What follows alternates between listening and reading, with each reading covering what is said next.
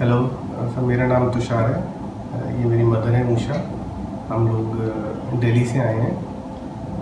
यहाँ आने का रीज़न ये था कि मेरी मदर को ब्रेथलेसनेस हो रही थी पिछले तीन चार महीने से।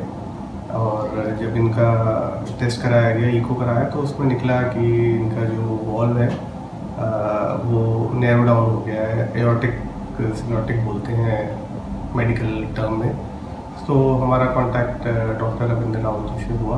एंड uh, इनकी सक्सेसफुली टावी प्रोसीजर डन हो गया है और उसके बाद से इनको काफ़ी रिलीफ है।